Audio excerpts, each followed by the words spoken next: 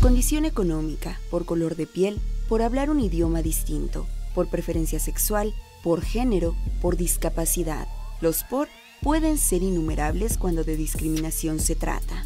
Entre 2011 y 2016, el Consejo Nacional para Prevenir la Discriminación abrió 1.129 expedientes por discriminación a personas con discapacidad y otros 1.726 de casos presentados por mujeres.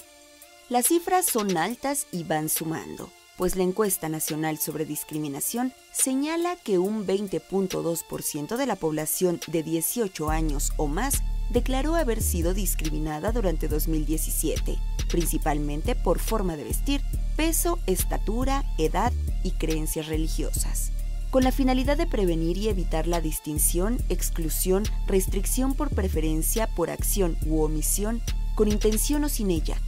En México, el 11 de junio de 2003 se publicó la Ley Federal para Prevenir y Eliminar la Discriminación, una ley elaborada para protegernos a todos.